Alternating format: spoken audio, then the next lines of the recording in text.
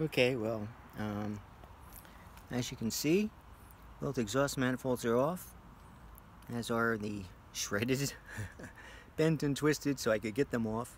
Uh, as you can see there, and there, heat shields.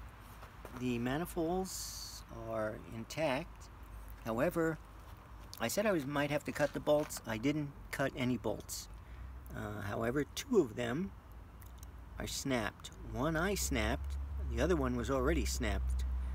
Um, as you can see, they, they were in such a different state of rust.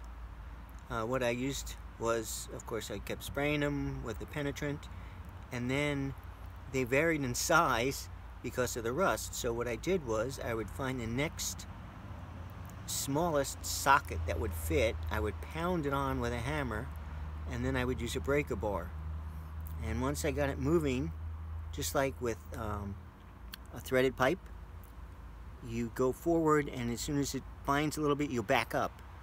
And then I spray and go forward and back up, and spray and go forward and back up. So it took almost three hours.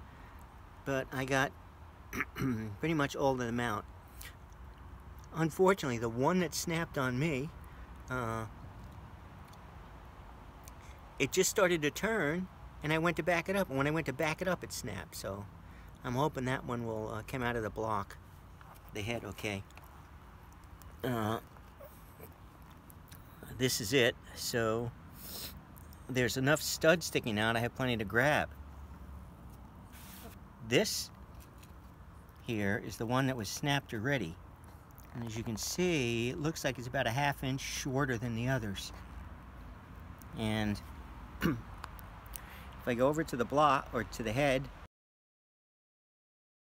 one can see here's the one that I snapped and like I said there's still plenty there to possibly grab. I'll spray it and grab it and take it out. But unfortunately this is the one that was already snapped. And that snap flush.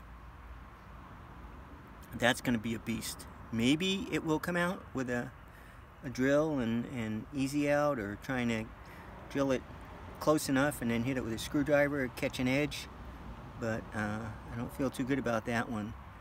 The others these studs were gonna have to come out anyway because um, I plan on putting headers on. I don't plan on putting the, the exhaust manifolds back on.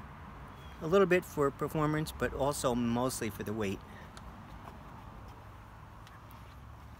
And since I have to create exhaust system anyway to fit in the Scout. And this side is fine.